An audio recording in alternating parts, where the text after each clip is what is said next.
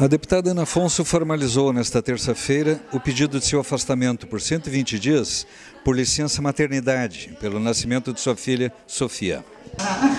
Deputada ela foi signatária final com base no artigo 23 e 3 do Código de Parlamentar. Nesta carta, requer o conferimento da licença maternidade em razão do nascimento de sua filha durante dia 27 de fevereiro.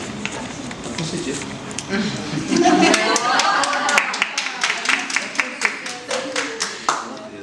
Ana Afonso é a primeira parlamentar a ter esse direito, só obtido para todas as deputadas após a mudança do Código de Ética da Assembleia. Mas eu acho que o mais importante mesmo é, o, é a vitória que nós construímos a partir dessa situação, né, porque nós defendemos que a política é o lugar das mulheres e nós mulheres viemos para os espaços de poder para transformar a política.